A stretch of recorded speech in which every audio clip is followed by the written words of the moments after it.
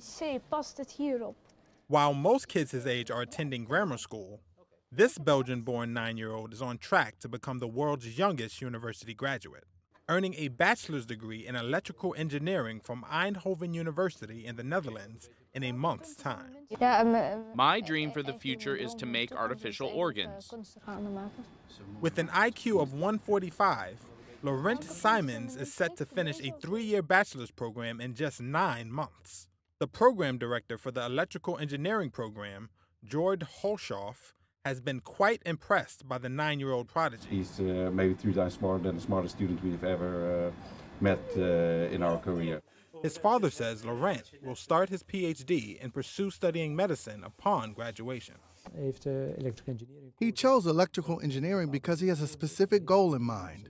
As an electrical engineer, you do inventions and that kind of things, while being a doctor is more about healing people and reproduction of information.